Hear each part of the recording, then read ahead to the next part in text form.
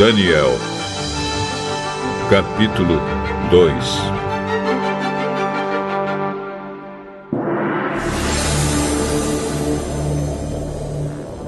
No segundo ano de Nabucodonosor como rei da Babilônia, ele teve uns sonhos que o deixaram tão preocupado que não podia dormir. Então mandou chamar os sábios, os adivinhos, os feiticeiros e os astrólogos, para que eles explicassem os sonhos. Quando chegaram e se apresentaram diante do rei, Nabucodonosor disse a eles: Tive um sonho que me deixou muito preocupado e não vou ficar sossegado enquanto não souber o que ele quer dizer. Eles disseram ao rei na língua aramaica: Que o rei viva para sempre. Pedimos que o senhor nos conte o sonho e, e aí nós lhe diremos o que ele quer dizer. Mas o rei respondeu: Eu já resolvi que vocês têm de me contar o sonho e também explicar o que ele quer dizer. Se não puderem fazer isso, vocês serão todos cortados em pedaços e as suas casas serão completamente arrasadas. Mas. Se me contarem o sonho e explicarem o que ele quer dizer, eu lhes darei presentes, prêmios e muitas honras. Portanto, digam o que foi que eu sonhei e o que o sonho quer dizer. E todos os sábios disseram de novo: É, conte o senhor o sonho. E aí nós lhe diremos o que ele quer dizer. Ah, eu sei o que vocês estão fazendo. Estão é procurando ganhar tempo, porque sabem que já resolvi que se vocês não me contarem o sonho, vou dar a todos o mesmo castigo. Vocês já combinaram me enganar com mentiras e falsidades, esperando que a situação mude. Contem-me o sonho. E então eu saberei que também poderão explicar o que ele quer dizer. Os sábios deram ao rei esta resposta.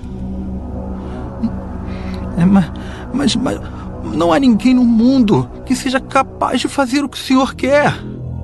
Nunca houve nenhum rei, por mais forte e poderoso que fosse, que tivesse exigido uma coisa dessas dos seus sábios, adivinhos ou astrólogos. O que o senhor está querendo é impossível. Não existe quem possa atender o seu pedido, a não ser os deuses. E, e eles não moram com a gente aqui na Terra. O rei ficou tão furioso que mandou matar todos os sábios da Babilônia. A ordem foi publicada. E então foram buscar Daniel e os seus companheiros para que eles também fossem mortos. Daniel foi procurar Arioque, o chefe da guarda do rei, que tinha recebido ordem para matar todos os sábios da Babilônia. Com muito jeito e cuidado, Daniel perguntou a Arioque: Mas por que foi que o rei deu uma ordem tão dura assim? Arioque explicou o que havia acontecido. Então Daniel foi falar com o rei. E este concordou em esperar, a fim de dar tempo a Daniel para explicar o sonho. Depois, Daniel foi para casa e contou tudo aos seus amigos Ananias, Misael e Azarias. Daniel disse que orassem ao Deus do céu, pedindo que tivesse pena deles e lhes mostrasse o que aquele sonho misterioso queria dizer, a fim de que Daniel e os seus amigos não morressem junto com os outros sábios da Babilônia.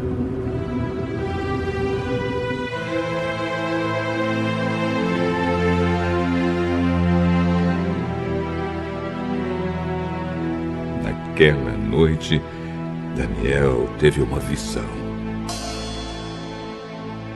E nela, Deus mostrou o que o sonho queria dizer.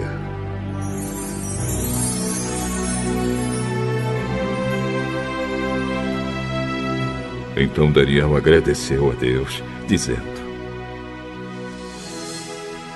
Que o nome de Deus seja louvado para sempre, pois dele são a sabedoria e o poder. É ele quem faz mudar os tempos e as estações. É ele quem põe os reis no poder e os derruba. É ele quem dá sabedoria aos sábios e inteligência aos inteligentes. Ele explica mistérios e segredos e conhece o que está escondido na escuridão, pois com ele mora a luz.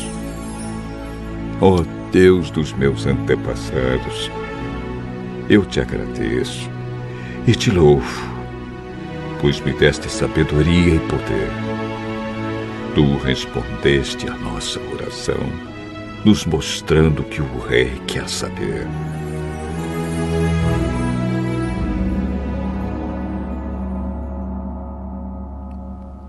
Aí Daniel foi procurar Arioque, o oficial que tinha recebido ordem do rei para matar os sábios da Babilônia.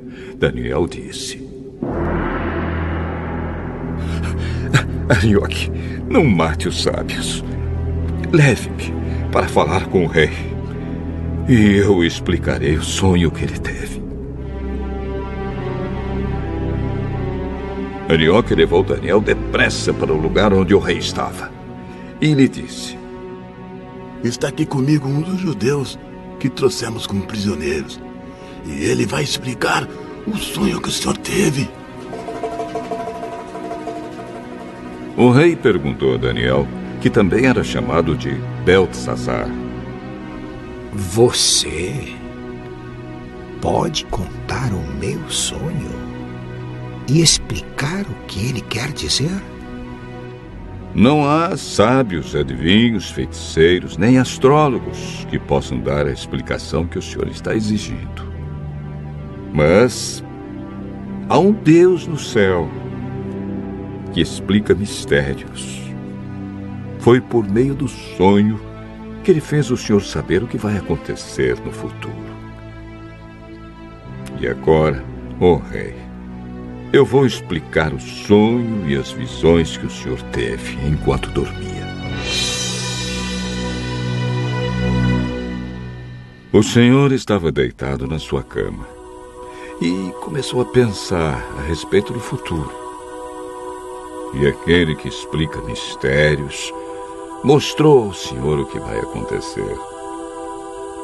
E eu recebi a explicação do mistério não porque seja o mais sábio de todos os homens, mas a fim de que o Senhor saiba o sentido do sonho que teve e o que querem dizer os pensamentos que passaram pela sua mente, ó oh, Rei.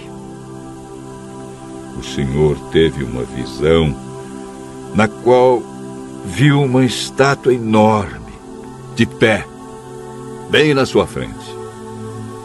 A estátua era brilhante mas metia medo. A cabeça era de ouro puro. O peito e os braços eram de prata.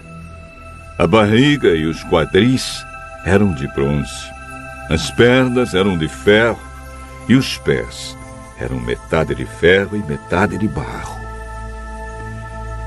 Enquanto o senhor estava olhando, uma pedra se soltou de uma montanha sem que ninguém a tivesse empurrado. A pedra caiu em cima dos pés da estátua e os despedaçou. Imediatamente o ferro, o barro, o bronze, a prata e o ouro viraram pó.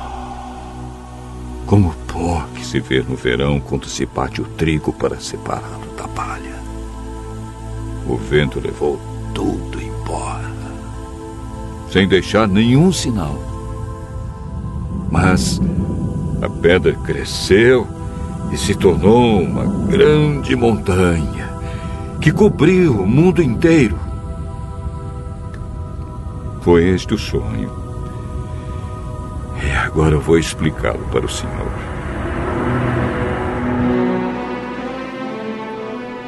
Oh, rei, o senhor é o mais poderoso de todos os reis. E foi o Deus do céu quem o fez rei. Ele lhe deu poder, autoridade e honra. Ele deu ao Senhor o domínio em todo o mundo sobre os seres humanos, os animais e as aves. O Senhor é a cabeça feita de ouro. Depois do seu reino haverá outro, que não será tão poderoso como o seu. E depois desse reino haverá ainda outro, um reino de bronze, que dominará o mundo inteiro. Depois virá um quarto reino, e este será forte como ferro, que quebra e despedaça tudo. E assim como o ferro quebra tudo, esse reino destruirá completamente todos os outros reinos do mundo. Na estátua que o senhor viu, os pés e os dedos dos pés eram metade de ferro e metade de barro. Isso quer dizer que esse reino será dividido, mas terá alguma coisa da força do ferro. Pois, como o senhor viu, o ferro estava misturado com barro.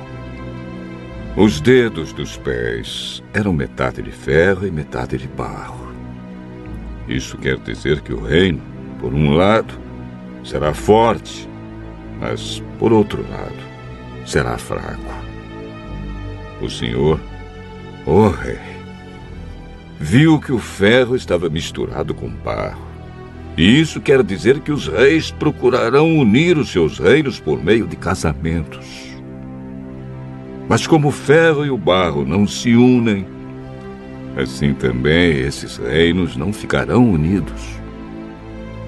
No tempo desses reis, o Deus do céu fará aparecer um reino que nunca será destruído, nem será conquistado por outro reino. Pelo contrário, esse reino acabará com todos os outros e durará para sempre.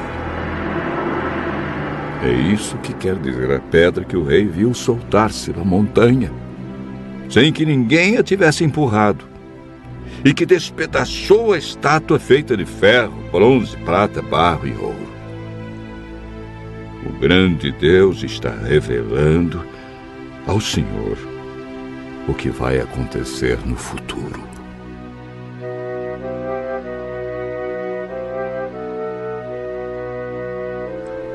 Foi este o sonho que o Senhor teve, e esta é a explicação certa.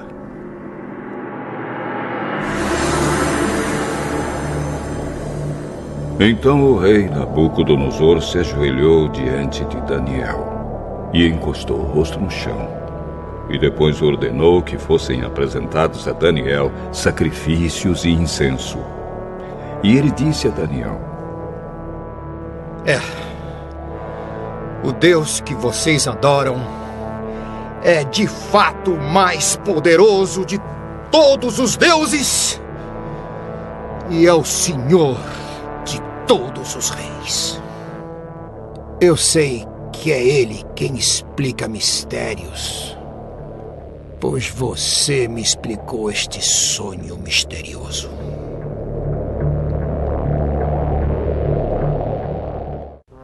Em seguida, o rei colocou Daniel como alta autoridade do reino e lhe deu também muitos presentes de valor. Ele pôs Daniel como governador da província da Babilônia e o fez chefe de todos os sábios do país. A pedido de Daniel, o rei pôs Sadraque, Mesaque e Abednego como administradores da província da Babilônia. Mas Daniel ficou na corte real.